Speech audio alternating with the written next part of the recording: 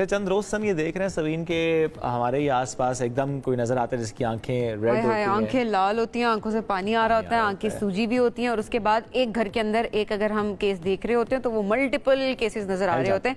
तो एक शख्स अगर बाहर से वो इन्फेक्शन घर में लेकर आ रहा है तो वो इन्फेक्शन ज़्यादा खर्चा उसका यही होता है कि पूरे घर में फैल रहा है। बच्चों बच्चों में हमने देखा कि एक बच्चा स्कूल हाँ। से लेकर आया फिर पूरे घर को हो गया फिर वो अगर आप ऑफ़िस जा रहे हैं तो वहाँ पे जो कोलीग्स हम्म। हैं आप कोवर्कर्स उनमें अच्छा आशुब चश्म की अगर बात करें ऑब्वियसली इस मौसम में हम देखें सावन के बाद हम देख रहे होते हैं कि ये आ रहा होता है बरसात के मौसम के बाद ये फैल रहा होता है। लेकिन क्या ये सिर्फ़ आशोब चश्म ही है या फिर और इन्फेक्शन भी आ रहे हैं? इस हवाले से हम बात करेंगे। हमें ज्वाइन किया है डॉक्टर इनाम ने आई स्पेशलिस्ट है आप। डॉक्टर साहब कैसे हैं आप? वालेकुम डॉक्टर जो आजकल हुआ ये लाल आँखें आँखों से पानी आशोब चश्म ही था? जो पिछले दिनों पेशेंट्स आ रहे थे वो तो आशुब चश्म के थे। और ये जो पेशेंट्स आते हैं ये एक सीरीज़ में आना शुरू हो जाते हैं। अच्छा। जुलाई से लेके सितंबर तक तकरीबन ये जो टाइम है इसमें ये पेशेंट्स आने शुरू होते हैं और one after the other. But ये जो रेड आई है रेड आई जो है सिर्फ़ ये जो हम कहते हैं जिसे हम आशुब चशम कह रहे होते हैं। आशुब चशम तो इट है लेकिन आँखों के लाल होने के और बहुत सारे कॉजेज़ हैं। अच्छा। वन ऑफ़ देम ख़ास तौर पे आजकल के सीज़न में मोस्ट प्रॉब्ली आशुब चशम की तरफ़ हम्म। हम इसको ट्रीट ठीक है। डिफरेंस कैसे किया जा सकता है कि आम इन्फेक्शन है या फिर पिंक आई है? असल में जो इन्फेक्शन है ये ये वायरल इन्फेक्शन है। हम्म। तो इन्फेक्शन और बहुत सारी तरह के होते हैं बैक्टीरियल इन्फेक्शन इन्फेक्शन भी होते हैं फंगल भी होते हैं और भी बहुत सारी चीज़ों के इन्फेक्शन होते हैं। फिर आँख लाल होने की वजह एक एलर्जी फिनमिना भी होता है कि पेशेंट्स की आँख में एलर्जी है एलर्जी से भी आँखें लाल होती हैं। तो मुख्तलिफ़ रीज़न्स हो सकती हैं इसकी। डिफ्रेंशिएट करने के लिए जो एलर्जी है एलर्जी की जनरल हिस्ट्री होती है जो पिछले साल भी मेरी आँखें ख़राब हुई थी प्लस वो सीज़न जो है वो कहीं मार्च फेबरी मार्च अप्रैल में ये वाला सीज़न एलर्जी का सीज़न है। हम्म। अच्छा। जब आप जुलाई ऑनवर्ड्स की बात करते हैं तो ये चांसेस अशुब चशम के चांसेस ज़्यादा हो जाते हैं इसमें। और ये वायरल इन्फेक्शन है जैसे बाकी वायरल इन्फेक्शन होते हैं कि एक से दूसरे को लगने शुरू हो जाते हैं। इसी तरह से ये इन्फेक्शन भी एक से दूसरे को लगना लगना शुरू हो जाता है। हाँ इसमें सिर्फ़ ये है कि आँखों के इन्फेक्शन के साथ साथ आपका गला ख़राब भी हो सकता है अच्छा। पेट ख़राब भी हो सकता है और कई दफ़ा ये होता है कि चूँकि वायरल इन्फेक्शन वायरस आपकी बॉडी के अंदर है हम्म। उससे आप एक आदमी को खांसी गला ख़राब हुआ हुआ है और वो कॉफ कर रहा है तो उसके हम्म। जो जरासीम जो है ड्रॉपलेट्स जो हैं वो फैल रहे हैं हम्म। तो वो ड्रॉपलेट से भी इन्फेक्शन कॉफ किया आपने ड्रॉपलेट इन्फेक्शन और वो फिर आँख में चला जाए ये भी एक मोड ऑफ़ स्प्रेडिस का हो सकता है। नॉर्मल वायरल इन्फेक्शन की आप बात करें या आशोब चश्म में भी ये सिम्टम्स हो सकते हैं? गला खराब पेट खराब जो आप बात करें। असल में हाँ जो नॉर्मल वायरल इन्फेक्शन तो कुछ भी नहीं होता। अच्छा। वायरल इन्फेक्शन तो वायरल इन्फेक्शन होता हाँ। है। तो जो आशुब चशम जिससे हम एडिनो वायरस जो बड़ी हाँ। एकदम रैपिड फायर की तरह स्प्रेड होना शुरू होता है ये एडिनो वायरस की वजह से होता है। इसके में जो है वो ये जैसे मैंने आपको बताया कि गला ख़राब भी हो सकता है पेट ख़राब भी हो सकता है या फिर वो स्वेलिंग्स भी हो सकती हैं लिम्फ नोड्स वगैरह की मुख्तलिफ़ इसकी चीज़ें हो सकती हैं तो बच्चों में ख़ास तौर पे जैसे आपने इंटरव्यू में बताया कि बच्चों में ये तो होता है तो बहुत शिद्दत के साथ होता है हम्म। और बूढ़े लोगों में जो अगर अच्छा। इम्यूनो कॉम्प्रोमाइज लोग हैं उनमें तो ज़्यादा इसके उनमें ज़्यादा इसके सीवियर सिम्टम्स होते हैं क्योंकि जो वायरल। इन्फेक्शन इन जनरल आपकी जो बॉडी है वो उसको जो उसके अंदर कुत मुदाफ़ियत है इम्यूनिटी जिसे हम कहते हैं वो इम्यूनिटी उसको ओवरकम करती है। बिल्कुल सही। तो जिन लोगों की इम्यूनिटी अच्छी है वो जल्दी उसे ओवरकम वो जल्दी ओवरकम कर लेते हैं। इम्यूनिटी कॉम्प्रोमाइज होगी उसमें सीवियर सिम्टम्स होंगे। एक कॉलर भी डॉक्टर साहब चनियोट से हैं यासर। अस्सलाम वालेकुम जी क्या पूछना चाहेंगे? जी सर जी जो ये आँखों का फ़ंक्शन है ये इस जिसके बारे में पूछना है जी। पानी बहुत आता खारिश होती है आँखों के पीछे। लाल भी है आँखें? लाल पहले दो दिन थी अब कुछ ठीक है टूप डाली है तो फिर भी इधर जो है ना बाएँ आँख जो उधर दर्द होता है। अच्छा आँख में दर्द पानी का आना खारिश होना जलन होना। आ, मुझे इनकी पूरी बात समझ नहीं आई। शायद उन्होंने कहा कि दो दिन से ये प्रॉब्लम है। लाल रही थी आँखें अब लाल तो नहीं है हम्म। लेकिन पानी भी आ रहा है हाँ, और खारिश भी हो अब ये टिपिकल एक अशुभ चशम की हिस्ट्री है। ठीक। कि ये आप इनसे पूछें तो शायद ये भी बताएँ कि जी पहले मेरे हम्म। घर में बच्चे को था या किसी और को था उसे मेरी हुआ मेरी आँख ख़राब हुई। और जनरली पहले एक आँख ख़राब थी फिर दूसरी आँख ख़राब हो गई। तो मतलब ये इस तरह से इसकी हिस्ट्री चल रही होती है। तो इसका मतलब ये है कि अभी ये अपनी रिमिशन मतलब ये ठीक होने वाली स्टेज पे आ गए हैं। आँख में पानी आ रहा है रेडनेस है। इस वक्त शेड तो नहीं कर रहे वायरस से हाँ जब तक ये पानी आँख में से निकल रहा है इसका मतलब है कि ये वायरस शेड हो रहा है। वायरस शेड हो रहा है। इसका मतलब वायरस शेड हो रहा है। इनको एहतियात करनी चाहिए। घर के जो बाकी लोग हैं उनसे अपने आप को कोशिश करें वो जो कहते हैं कि किसी की आँख में देख लेने से भी आँखों से आँखें मिलाने से भी अशोक चश्म हो जाता है। ये वेरी इंटरेस्टिंग वो अभी हम जो इमेज दिखा रहे हैं वैसे स्क्रीन पे जब मैं उसको देख रही हूँ तो मुझे लग रहा है शायद मुझे हो जाएगा वेरी इंटरेस्टिंग लोग ये बात करते हैं कि जी जो जिस आदमी की आँखें लाल हों उसकी आँखों में देखने से इन्फेक्शन हाँ। हो जाता है ऐसे नहीं होता नहीं होता it, ये it, it क्योंकि आप उसके करीब होते हैं बाजू का तो वो ड्रॉपलेट्स हाँ, आपकी आँख वो वो इन्फेक्शन यूँ होता है हाँ. कि आप एक एक आदमी है जिसकी आँखें लाल हैं उसने जो है वो साथ ही आँखों को हाथ लगाया फिर ग्लास को हाथ लगा लिया। और आपने भी उसी ग्लास आपने भी उसी ग्लास को हाथ लगा लिया या अपने हाँ। हाथ में लाया या डोर नॉब से आपने आँख पे लगाया। या उसके बाद अपने आँख को क्यों क्यों इतना मुश्किल प्रोसेस भी ख्याल करें। मतलब इतनी तेज़ी से फिर भी फैल रहा है जी जी जी मतलब हाथ लगाया उसके बाद फिर आपने हाथ लगाया फिर आपने अपनी आँखों को हाथ लगाया। तो इसका आसान सी बात यह है कि जब इस तरह की सूरत हाल हो घर में किसी को इन्फेक्शन हम्म। हो जाता है हम्म। तो उसका एक तो जैसे मैंने बताया चीज़ें उसकी अलग कर दें। ठीक है उसका टॉवल स्पेशली अलग टॉवल अलग हो गया। अलग हो तो खुद भी एहतियात करें। खुद भी एहतियात करें खुद भी एहतियात करें। और जैसे आप अगर आपने आँखों को हाथ लगाया उसके बाद आप हाथों को धो लें जैसे किसी ने ड्रॉप आँख में डाले हम्म। वो ड्रॉप डालने के बाद आँखों हाथों को अपने धो ले। शोभित चश्म पिंक आई में ड्रॉप्स कौन से डाले जाते हैं? हाँ अभी ड्रॉप्स इसके जनरली जो है वो जैसे मैंने आपको बताया वायरल इन्फेक्शन है जो वायरल इन्फेक्शन होते हैं इनकी तो कुत मुदाफ़त उसको ओवरकम करती है। हम्म।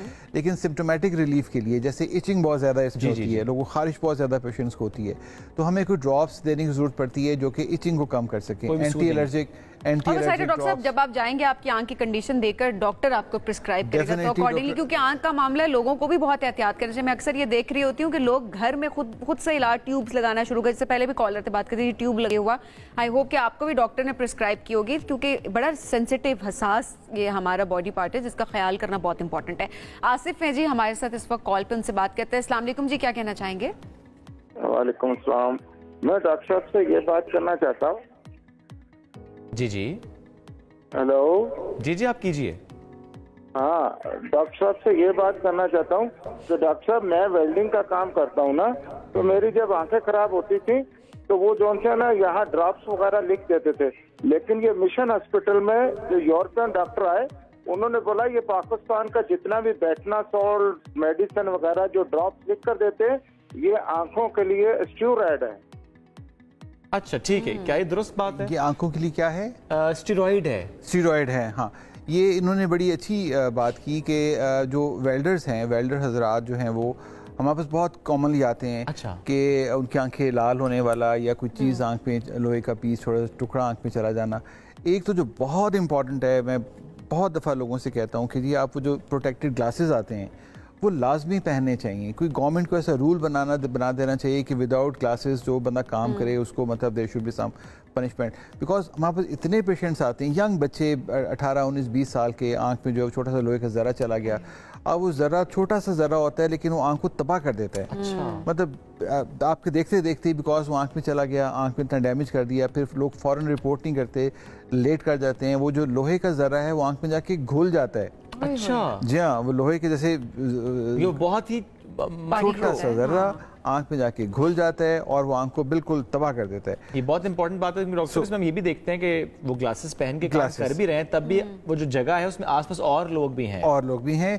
तो इसमें इनका जो स्पेसिफिक पॉइंट था वो ये था कि आँखें जब आप वेल्डिंग करते हैं आँखें लाल हो जाती हैं आँखें इसलिए लाल होती हैं कि आपने प्रोटेक्टिव गॉगल्स नहीं पहने होते। वो जो गॉगल्स जो उसमें डार्क कलर के होते हैं ताकि जो स्पार्क उसका है वो स्पार्क की रोशनी आँख पे ना जाए।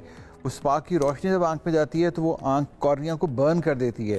ये पेशेंट्स हमारे पास आते हैं जिनका कॉर्निया बर्न हुआ होता है तो वो फिर ज़ाहिर है कि उनको ट्रीटमेंट। अच्छा इस हम्म। तरह के पेशेंट्स में अगर आप स्टीरॉयड्स देते हैं और बहुत ज़्यादा तादाद मकदार में स्टेरॉइड्स देते हैं तो वो चांसेस ये है कि उसकी आँख मज़ीद ख़राब हो जाएगी।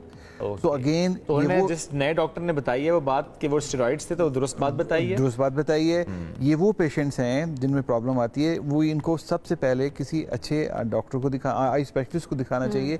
जो आम हमारे डॉक्टर्स हैं वो इस बात को नहीं उस तरह समझ पाते। ठीक किसी और आई स्पेशलिस्ट को दिखाया उसको फॉलो करें। एक और कॉलर है हमारे मुबशर है भावल नगर से। अस्सलाम जी क्या पूछना चाहेंगे?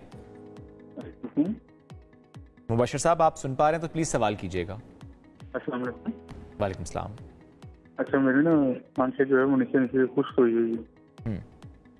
तो डॉक्टर से पूछना चाहते उसका क्या था ड्राई आइज़ अच्छा डॉक्टर साहब ये बड़े लोगों का होता है कंसर्न कि ड्राई आइज़ उनकी होती हैं काफ़ी। क्या रीज़न अच्छा ड्राई के बहुत सारे कॉजेज़ हो सकते हैं। आँखों में कुछ बीमारियाँ होती हैं जो ड्राई आइज़ कर सकती हैं। कुछ ऐसी टैबलेट्स होती हैं जो लोग खा रहे होते हैं जैसे एंटी एलर्जिक टैबलेट्स हैं वो ड्राई आइज़ कर सकती हैं। और भी टैबलेट्स हैं जो ड्राई आइज़ कर सकती हैं। फिर वेदर कंडीशंस हैं जैसे बहुत आप हॉट वेदर में रहते हैं और आप बाहर जाते हैं आप सनग्लासेस यूज़ नहीं करते तो वो भी ड्राई आई मोमेंट्री जो है वो ड्राई कॉज कर सकती हैं। इसके रीज़न तो बहुत सारे हैं। आसान इसका हल ये है कि आप अगर एक पेशेंट है जिसकी ड्राई आइज़ हैं उसको एक तो किसी डॉक्टर को दिखा के को अगर लोकल कॉज है जैसे कई दफ़ा जो आँखों का आई का एरिया होता है इसमें इन्फ्लेमेशन होती है। तो वो उसमें अगर कोई रीज़न है आप उसको ट्रीट करेंगे ड्राई आइज़ आपकी ट्रीट हो जाएँगी। बिकॉज़ जो प्राइमरी कॉज है वो ड्राई आई का कोई देर इज़ सम रीज़न अगर हम उस रीज़न को ट्रीट करें तो ड्राई तो आई उसके बाद ज़ाहिर है आप ट्रीटमेंट पे जा सकते हैं। डॉक्टर साहब लेंस लगाती हैं खातन उन वो भी यही शिकायत करती हैं कि हमारी आइज़ ड्राई होना शुरू हो गई। और अक्सर ये मैं देख रही होती हूँ कि जब आँखें ड्राई होना शुरू हो जाती हैं तो वो जो लेंस का लिक्विड होता है उसको आँखों में डालना शुरू कर नहीं बिल्कुल ठीक नहीं है बिल्कुल ठीक नहीं है। आपको जब आपको लगता है कि आपने लेंस पहने हुए हैं आपकी आई ड्राई हो रही हैं तो आपको कोई लुब्रिकेटिंग आई ड्रॉप डालना चाहिए। बहुत सारे लुब्रिकेटिंग आई ड्रॉप्स हैं। और अबव ऑल कोशिश ये करें कॉन्टैक्ट लेंस उस ड्यूरेशन में पहने जिसमें असेंशली ज़रूरी जैसे आपको कोई शादी में जाना है आपने अपने ऑफ़िस जाना है तो ऑफ़िस जाने से पहले आपने कॉन्टैक्ट लेंस पहने। और जैसे घर आते हैं फ़र्स्ट थिंग शुड बी कि आप कॉन्टैक्ट लेंस अपने उतारें। बिकॉज़ जब आपने कॉन्टैक्ट लेंस कॉर्निया पे लगाया होता है तो वो कॉर्निया को सॉर्ट ऑफ़ एक आप ये समझ लें इस पर आपने एक चीज़ लगा दी है आपने एक बैंडेज लगा दी है कॉर्निया के ऊपर। सो वो कॉर्निया की न्यूट्रिशन को किसी हद तक इफ़ेक्ट कर रहे होता है। सो वो जो बेसिकली जब कॉर्निया की न्यूट्रिशन इफ़ेक्ट होती है तो कॉर्निया ख़राब होना शुरू हो जाता है। जो डेली बेसिस पे लेंस यूज़ करती हैं खातन वो आँखों के लिए नुकसानदेह है इसका मतलब? हाँ नहीं मैं ये नहीं कह रहा। मैं ये कह रहा हूँ कि आप डेली बेसिस पे एक्सटेंडेड वेयर लेंस यूज़ करें बेशक डेली यूज़ करें। लेकिन ऑफ़िस या कोई भी काम शादी में जाने से पहले उसको लगाया आपने और उसके बाद वापस आके उतार दिया बिकॉज़ एक्स्ट्रा यूज़ ना करें उसका। एक्स्ट्रा यूज़ ना करें। जो जो- उसको बाद में रखते हैं सॉरी हाँ। बात कट रही है लेकिन जब लेंस को हम उतार के उस बॉक्स में रख रहे हैं उसमें लिक्विड डाल रहे हैं समटाइम्स हम पूरे पूरे दो दो तीन तीन महीने बाद उसे दोबारा पहन रहे होते हैं एक तो उसका उसकी केयर क्या होनी चाहिए? कितने टाइम में उसका जो लिक्विड है वो चेंज होना चाहिए? ये बड़ी इंपॉर्टेंट आपने बात की। मेरे पास खातन आती हैं और वो खास तौर पे कलर कॉन्टैक्ट लेंस वो कहती जी मैंने जो एक ही दफ़ा लेंस पहना है उसके बाद मैंने लेंस पहना है मेरी आँख ख़राब हो गई। मैंने पूछा कब पहना है? जी वो छः महीने पहले मैंने पहना था। अब ये बेसिकली अगर आप देखा जाए तो ये एक एक्रेलिक सा मटेरियल होता है जिसका लेंस बना होता है। इसकी एक अपनी लाइफ होती है। ओके। भले आप छः महीनों में एक दफ़ा पहने वो ख़त्म हो जाता है। ठीक है। उसकी जो सर्फेस है वो रफ हो जाती है उसमें तो लाइफ है और वो खत्म हो गई तो आपकी आँखों को डैमेज करेगा। डॉक्टर साहब बहुत शुक्रिया साथ मौजूद थे।